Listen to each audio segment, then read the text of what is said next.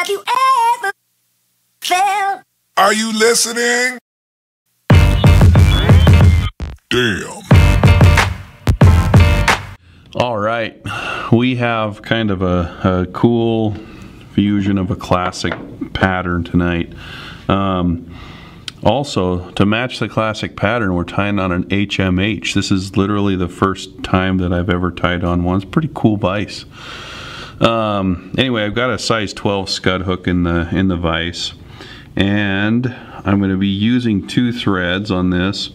Uh, this is Uni Thread 3-aught in yellow. It's very similar to the Uni Stretch that they make. So I'll be making the body out of that. And then instead of wrapping my soft hackle with this bigger, thicker thread, I'm going to switch it out and uh, do something a little bit different. But this is this is kind of a variation of the partridge and yellow. Um, but anyway, this is a very flat thread. So as you can see, if I if I rub it on the hook, it really flattens out. Um, so what I'm going to do is I'm going to start it a little bit for, back from the eye and start winding over the top of itself. And when I get about to here, I'm going to trim the excess off and that will help with the taper of this fly. So now I'm just going to continue down the bend of the hook. You can see that stays nice and flat. I'm going to go to about right there. And now I'm going to twist up my thread. And this is where this Griffin bobbin really comes in handy because the two arms really balance this out. Uh, the other thing is when I twist this up, I'm going to turn the hook to the side like this so that when my thread's hanging, it's not going to be impeded by the jaw right there. So I'm going to turn it to the side and I'm also going to put my finger right here so when I twist it up it's not going to mess up the taper that I just created. So I'm going to twist it up clockwise. It shouldn't take too many twists. Um, and now I'm just going to wrap it back up the body. And this is a really good technique you can use for midges, for um, you know, caddis pupa, those types of things. And about right here, I'm going to do the same thing, twist it up again.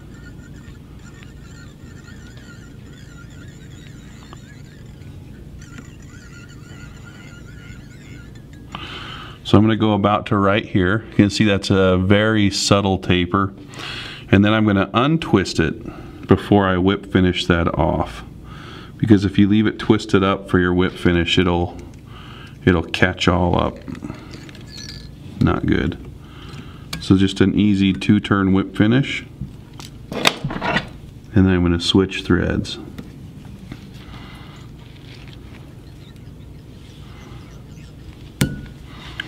So I've just got some brown or camel 8-aught uni thread. And for the little thorax or hot spot or whatever you want to call it, I'm just going to use some UV tan ice dub.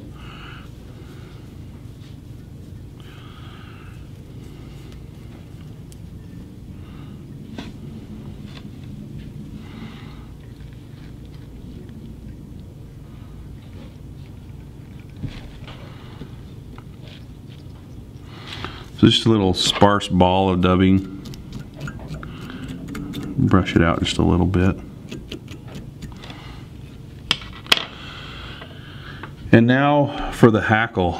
Um, I've uh, selected a piece of partridge hackle or partridge feather from a, a, full pelt. This one happens to be from Nature Spirit and they're some of the best partridge pelts that I've I've used. So what I'm going to do is I'm just going to peel off the fluff. Okay, so I've, I've got my uh, hackle prepared. I just kind of grabbed it with the, the hackle pliers and preened it down to find that tie-in point. So that's where I'm going to tie it in, but before I tie it in, I'm just going to cut a little triangle into it. So that's, that's enough to be tied down onto the hook.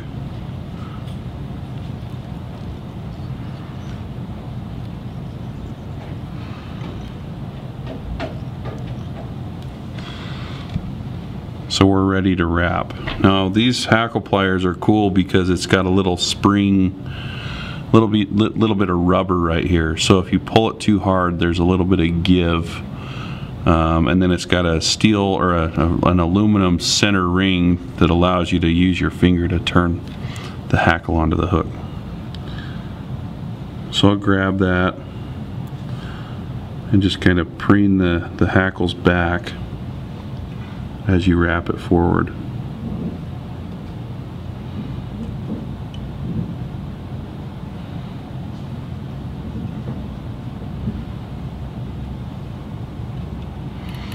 You can do them as sparse or as dense as you want.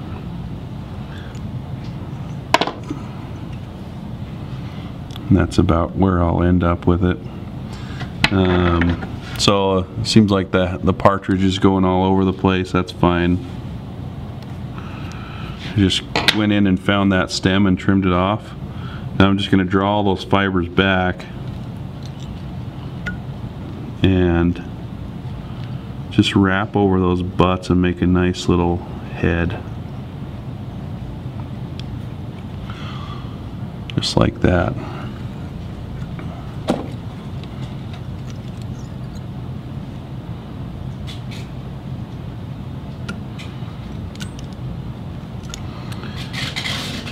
Anyway, as you can see, I mean, they're there are all different kinds of ice dubs out there, all different colors of the, the Uni 3-aught thread.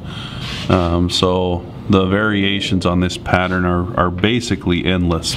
Anyway, super simple fly. You should be able to tie a bunch of these in, in short time. So give them a tie and try them out.